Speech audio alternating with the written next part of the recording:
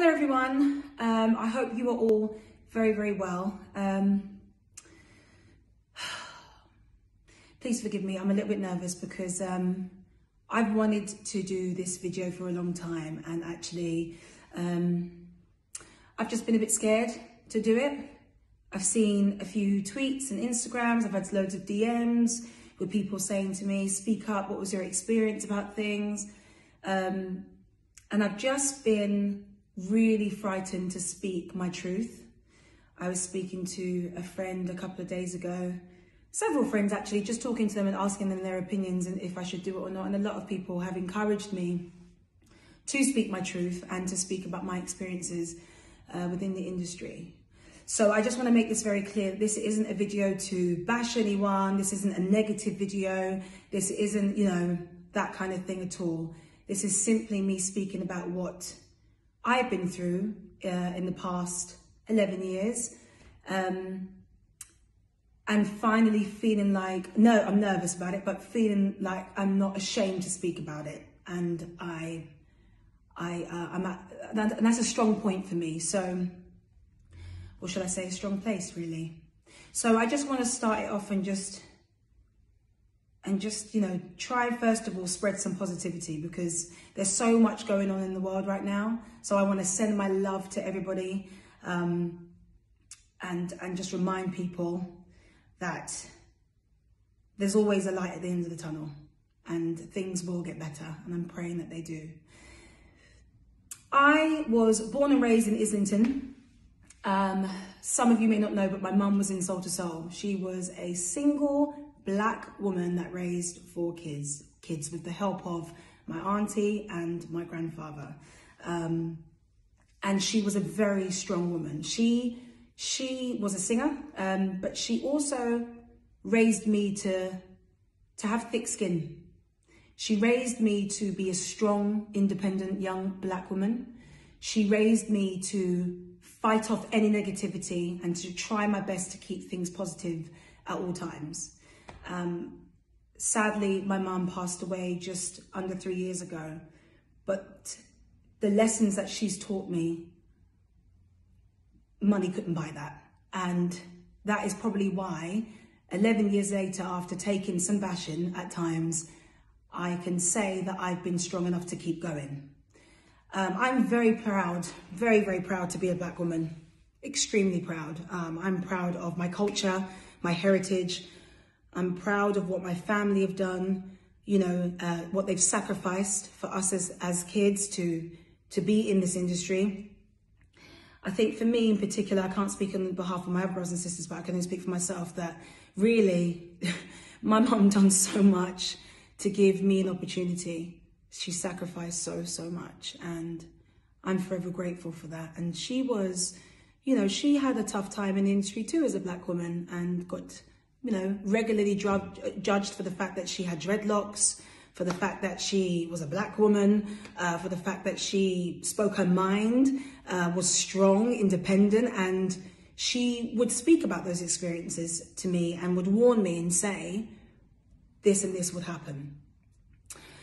Um, I think it's only right that I share my experiences in order to ho hopefully help other people speak up too um, to inspire other people to speak their truth. So the first experience that comes to my mind is when it was when I was 16. I went for the X Factor twice, once when I was 16, once when I was 19. And when I was 16 years old, I made it down to the judges' houses. Um, and um, this person in particular said to me, you know, you haven't made it through, but give me a call in a couple of months and, you know, I'll sign you. I will take you on as an artist. And I was like, wow, that's amazing. At 16 years old, it's the break that I've been waiting for. I remember calling this particular person and saying to him, look, I'm in a position where I'm ready to start working and I'm, I, you know, I'm eager, I'm good to go. And the reply and the response that I got was, I already have one black artist. I don't need another. I wasn't sure how to take that, to be honest. I still kind of have to, I have to really take that in even now, however many years later, think to myself, wow, that was really something that was said. And, you know, and it really, it sucked. it really, really sucked to hear those words because of your skin color. You now can't, you now can't have this opportunity that was that was promised. And I know that you know not all promises can be kept, but that was a big deal for someone who was only 16. Um, the music industry is such a funny little place. Uh, I love singing, I love what I do, but if it wasn't for the love that I have for music, I definitely wouldn't be in this industry. And, and a few reasons are, I got told uh, when I first won the X Factor at 19, I got told, right, because you're black, you are going to have to work 10 times harder than a white artist because of the color of your skin. You can't have braids, you can't have an afro, you can't have anything that basically is my identity. You have to have hair, for example, that appeals to white people so people can understand you better. I mean, I was only 19 years old. There's only so much you can understand at 19 when your life has completely changed overnight. Um, and that was quite hard to, to digest. I got told to bleach my skin.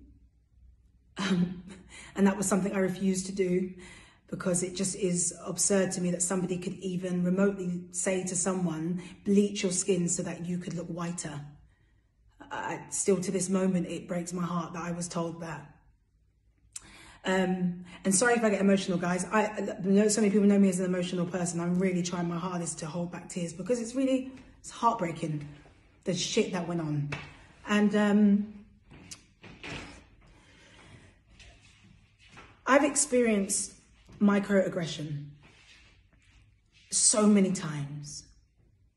I get told regularly, um, and have been told from previous management companies that I've been with and stuff, I, uh, you have to smile more on your Instagram because you come across aggressive. Um, you know, if you don't smile, you're not relatable. You can't have baby hairs showing on your showing on any hairstyle that you do because you come across as aggressive. A, label that I was with told me that, and that's why I wanted to leave them. You can't release this kind of music because white people don't understand that. You have to appeal to only a certain radio station so that that's, that's what white people listen to. So, you know, you have to do this kind of music because people understand what you want to say. and to have that dictated to you and so so many times on different levels by different people I'm so upset with myself that I allowed that. So pissed off with myself. And the, the, the, the joke of it is, I could have spoken up much earlier and was too, too scared to. Even doing this video now scares me. Scares me because someone like myself, and many people have lost their parents, right? So I'm not trying to play the victim card at all because that's what I get told a lot of times, but I'm really not trying to play that. What I'm trying to say is I, when I lost my mum, was the same day that um, I done the Strictly Reveal day, right? And I'll never forget when my family said to me, Alex, you have to do it, you've got to do it. And I was like, boy, I don't think I can. And I remember watching the sunrise outside the hospital with my auntie. She was like, you gotta do this for your mum. This is what your mum wanted. And I was like, okay, cool. I turned up to that red carpet. And one journalist, because I couldn't speak to anyone, right? I literally could not speak. I said, I'll do it, but I can't do press. Because I felt like if I'd opened my mouth, I felt like I just would break down and nobody would understand. Because we hadn't told anyone at that point. Also didn't really feel real. And um, so this journalist basically come up to me and said, and said, um, oh, so you're not doing press? Being a diva today, are we?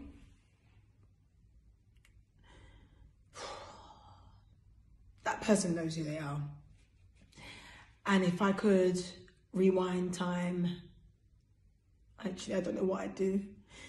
But to have someone say that, that was the image they had of me because of papers particularly one journalist in particular, this one journalist who people know I'm talking about, I don't need to mention his name, but he has painted me out to be a complete and utter bitch. When I was on Strictly, I remember when uh, I got injured and I was in hospital and I was so sick and I didn't want to say anything because I didn't want people to be like, oh, she's playing the victim card again. He said, oh, she's backstage, she's been backstage, she's been throwing chairs, she's been screaming at um, at Tess, at Claudia, she's been doing this to her partner, that to her partner, and I was in hospital. And I was like, why can't anyone stick up for me? Why can't A Strictly or anyone from the BBC say something? And say the truth. I was told to be quiet. I was told to not say anything. And so I did and didn't say anything. And that's one of my biggest regrets in life because I was so scared on that show. I was so scared because if I spoke out, she's playing the victim card. If I cried, oh, look, she's playing another victim card. If I was happy, it's how can she be so happy? She's just lost her mum. She doesn't care about losing her mum. That's the kind of comments I was getting daily online. So many trolls. I was getting so many trolls telling me all kinds of stuff. And um, how I got through it, I look back and I've got no idea. I've got no idea. I don't even like thinking about that experience at all.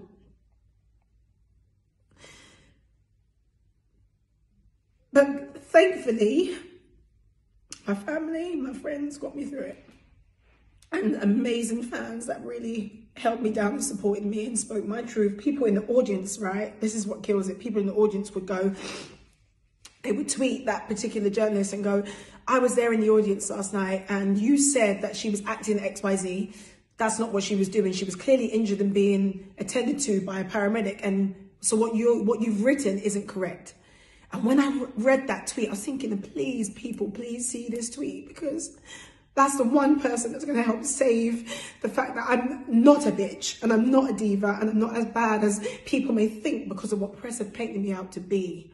And that's simply, I believe, it's simply because of me being a black, strong woman. I can speak out for myself because that's how I've been taught. But I would never do it in a way that offends people or hurts anyone. I do it in a way that just speaks my truth when I feel like I need to say something or when I need to express what I think about my music or what I say in interviews. I'm such a positive person that I just want to radiate that to other people because I care. And I feel like if you're surrounded by positivity, that comes back to you tenfold. And um, so to have that experience is, it's just been horrendous. But this is the first time that I've felt like I can actually speak up about all of that because I was I kept myself so quiet and I'm angry at myself for that but now that the, this movement is happening oh, I just feel like now is the right time to speak up and not be afraid to do it. And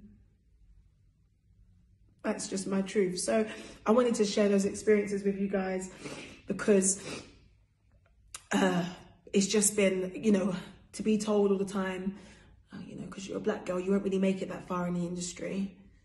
You know, because you're black, you should have been, you know, if you, if you were white, you'd be bigger than what you are right now. You'd sell more records, you'd be a Brit Award winner, you'd be this, you'd be that. But because you're black, that hasn't been for me. I've been told that from several, lab several labels, management companies, and it's hurtful. So anyone out there that's scared to speak the truth, speak your truth. Because that's all we've got. We've got one life.